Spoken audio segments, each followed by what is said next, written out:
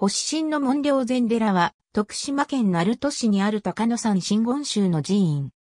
四国88カ所霊場の第一番札所である。三号は、軸は山、陰号は一条院と号する。本尊は、釈迦如来。と、串島88系に選定されている。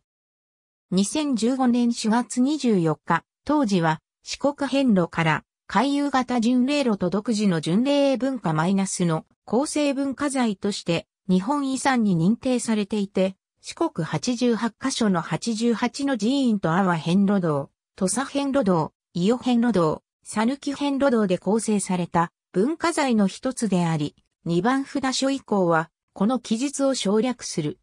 自伝によれば、奈良時代、天平年間に、聖武天皇の直眼により、行基によって改装された。公認6年に空海がここを訪れ、21日間泊まって修行したという。その際、天竺の霊州山で釈迦が仏法を説いている姿に似た様子を監督し、天竺の霊山である霊州山を日本、すなわち和の国に移すとの意味から軸は山霊山寺と名付け、事物の釈迦如来を収め霊場改装祈願をしたという。その白鳳時代の御嶽三寸の釈迦誕生物が残っている。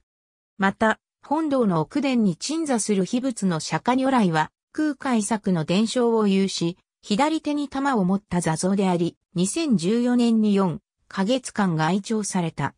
室町時代には、三好氏の庇護を受けており、七道伽藍の並ぶ大寺院として、阿波三大坊の一つとして栄えたが、天正十年に長祖壁元親の陛下に焼かれた。その後徳島藩主、八須賀光隆によって、ようやく再興されたが1891年の出荷で本堂と多宝塔以外を再び消失したが、その後の努力で王子の姿を取り戻し、第一番札所としてふさわしい景観になっている。自伝その他の言い伝えでは空海が公認6年に四国霊場を開き、札所と札所番号を定めたことになっているが、これは史実ではない。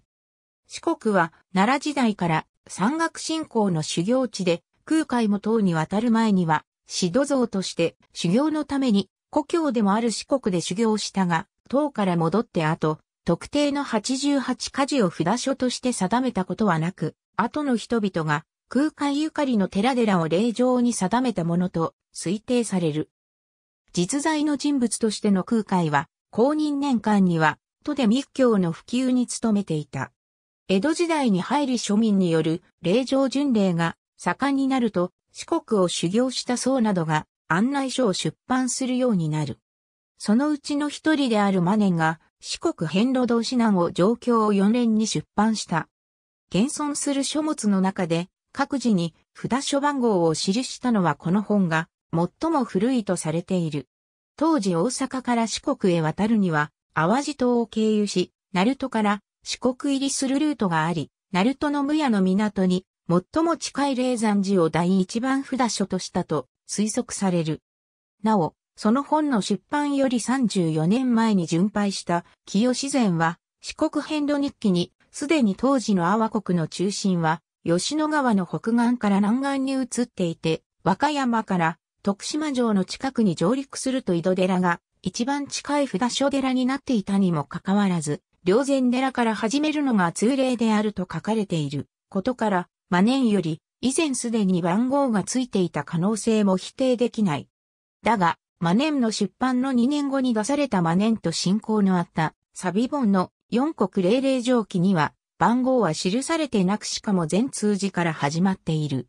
またま年より約10年後に出された奉納四国中辺路の日記は、両前寺から始まりほぼ同じ順番であるが、この日記で現在と順番が違っている部分は、59国分寺62一の宮61高円寺、60横峰寺64石槌山63吉祥寺65三角寺と記されているが、番号は記されてない。本堂大師堂と北条地境内の東側の駐車場から発信の門をくぐると、大和前に出る。山門を入り、先に進むと左手に多宝塔、右手の池の先に大師堂があり、正面の奥に本堂がある。本堂に向かって左に13仏の最初の不動明王座像が祀られ、その左に続く12仏が立ち姿で並んでいる。足が不自由な場合など本堂への石段を登るのが困難な場合は、本堂西側の入り口から本堂へ直接行くことができる。13仏石中門と門前通り、坂東駅から無夜街道を経て山門までの参道には緑色のペイント、グリーンラインが引かれ、当時に至る。他、毎月1日には、五幕用が行われる。ABC 四国88レ上改編、千夏経典2006年、P150、柴谷総宿、四国遍路心の旅路2017年4月間 39P より8万4000枚の納札を固めて作られた。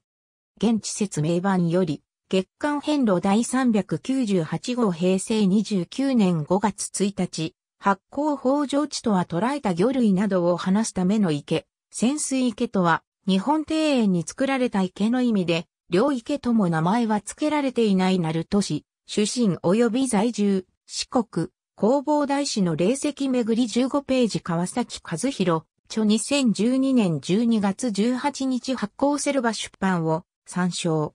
ありがとうございます。